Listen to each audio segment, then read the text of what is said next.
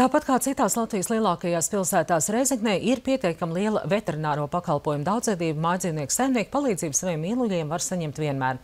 Pilsētās pastāv konkurence veterināra ārstu vidū, bet lauku reģionos to trūkst, un bieži viņi sadarbojas arī ar blakus novadiem par pieredzi Reizeknes pusē Latgals kolēģi. Rītas Gabrusānes Bogdanovas ģimenē veterinārārsta profesija mantota no paudzes paudzē, un tā jau astoņus gadus viņa rūpējas par Reizeknes pilsētas un tās blakus novadu iedzīvotāju mājdzīvnieku, gan arī mājlopu veselību. Pašai savs veterinārais centrs Andrivet Reizeknē izveidots pirms četriem gadiem.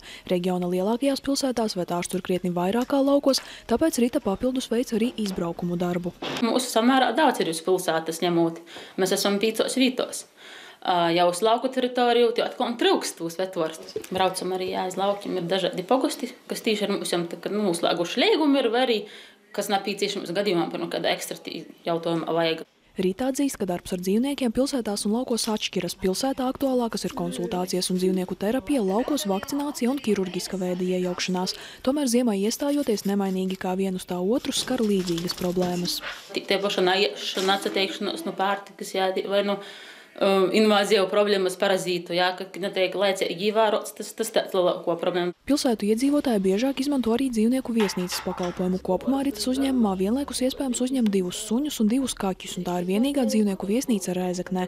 Šobrīd notiek arī suņu čipēšana, jo to jau nākamgad paredzēts ieviest kā obligātu. Veterinārā centra apmeklētāji atzīst, ka pilsētā rindas neveidojas un vetārstu skaits ir pietiekams. Viss kārtībā, vienmēr atnāk, pat, pat ja nav pieraksta, arī var atnākt un uzreiz pieņem. Vajadzēja čipot. Vienam mums jau bija, otram nē, nu tā kā mums vajag līdz 1. janvārim, nolēmām, ka jānāk jau jāreģistrē jau arī.